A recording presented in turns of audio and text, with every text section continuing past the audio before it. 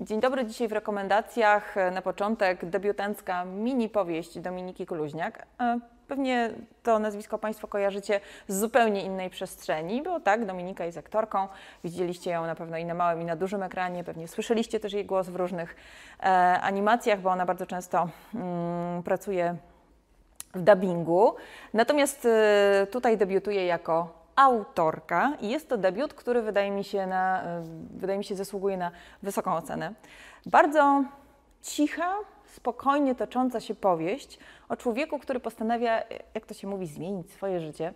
Mężczyzna, który żył w wielkim mieście Warszawa i prowadził e, bogate życie zawodowe, emocjonalne, każde, nagle postanawia wyjechać, pojechać w Karkonosze i kupić dom swojej babci. To znaczy on nie kupuje go od babci, tylko od ludzi, którzy go kiedyś babci sprzedali. I te Karkonosze, i ta Śnieżka, i ta przyroda, i ta chata, i pies którego, no tutaj okładkowy, piękny pies, i pies, którego do swojego życia również e, wprowadza, umożliwiają mu przemianę, bo to nie jest tylko zmiana adresu, to jest przemiana.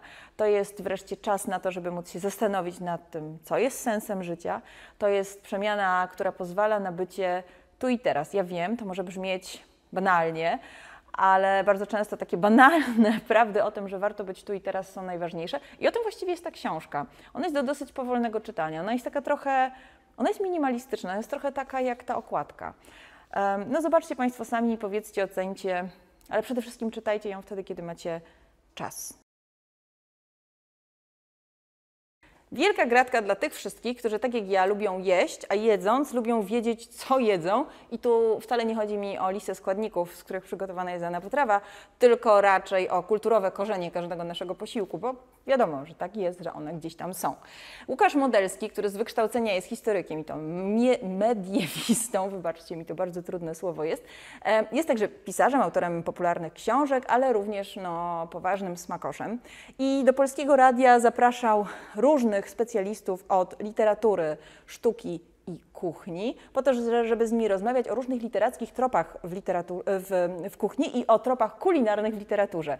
Powstał z tego cykl naprawdę fantastycznych rozmów, e, które czyta się z naprawdę po, pochłanie się jak, nie wiem, świeże cynamonowe bułeczki e, ze Szwecji albo jak e, komisarz Montalbano pochłaniał barweny e, w książkach z cyklu właśnie o jego niesamowitych przygodach. Zresztą o tych, książ o tych książkach rozmawia się tutaj z Pawłem Brawo, jednym z tłumaczy e, e, książek o komisarzu Montalbano.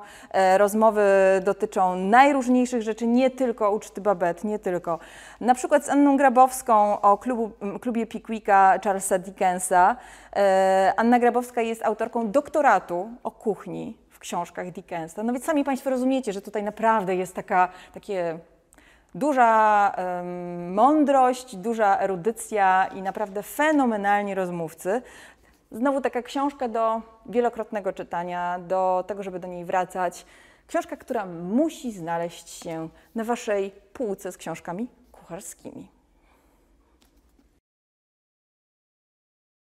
Jeśli e, jesteście Państwo wiernymi widzami naszego kanału, to może pamiętacie ubiegłoroczną bodaj rozmowę z Mikołajem Marcelą, e, autorem e, książki dla dzieci bestseller i zagadka znikających warzyw. O tej mówiliśmy w zeszłym roku, a teraz mamy jej nową część, bestseller i tajemnica ro, rodu kokosów. Mikołaj Marcela jest hmm, gościem, który naprawdę promuje wegetariańską kuchnię, więc te książeczki nie są tak kompletnie niepowiązane z tym, e, jak wygląda życie autora. E, książki, w których występują antropomorfizowane, takie mądre słowo, e, warzywa i owoce. Pierwsza część dzieje się w Jarzynowie, druga w Owocowicach. Mamy komisarza, szeryfa, który nazywa się Bestseller i on rozwiązuje zagadki kryminalne. W drugim tomie, który się tutaj pokazuje, mamy rodzinę kokosów. Mm, to jest taka mm, no, wpływowa, wpływowa rodzina. Y, historie bardzo przypominają różne opowieści, które możemy znać właśnie z popkultury. Y, są różne takie nawiązania, które na pewno będą cieszyły rodziców. E, a poza tym jest to po prostu promocja warzyw i owoców, które są super fajne i bardzo, bardzo zabawne. Ja Państwu może tutaj tylko taki krótki fragmencik.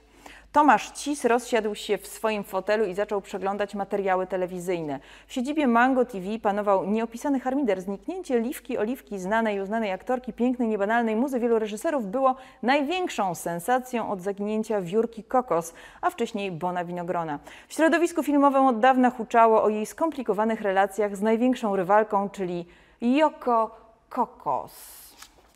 E, polecamy, pozdrawiamy Mikołaja i życzymy Ci, Mikołaju, e, weny warzywnej i owocowej.